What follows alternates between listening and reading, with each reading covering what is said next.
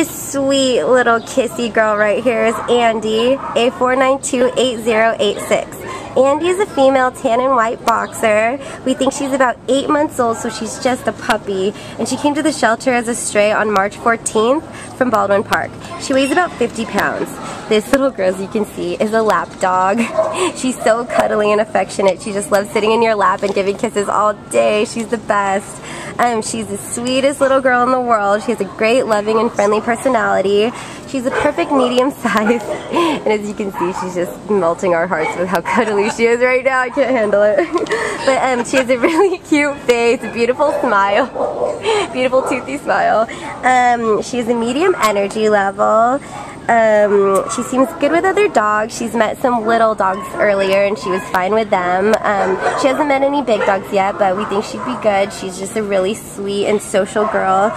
She's very kissy as you just saw a couple seconds ago. Um, and yeah, she's just a puppy, so she could, she may grow a little larger than what she is right now. Right now she's 50 pounds, so maybe just a little bigger. Um, but she definitely um, needs a little puppy training and guidance just so that she can be a great adult dog.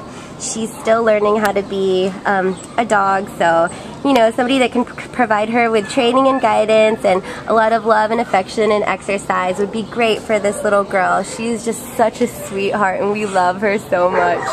So please come and check out Andie. She would be great for an active family and somebody that just really wants a sweet and loving companion. Yeah, and she's she's only eight months old, and really, you know, for, for an eight month old puppy, she's she's got a medium energy. Yes. There's a lot of eight month old puppies that are just complete spazzies. Totally. And she is chill. She's chill, and I picked her up, and she just yes. melted into me. Yes. And she's going to be an amazing, amazing dog for some lucky adopter. Yeah, she is a great, great dog. I'll let that train go by.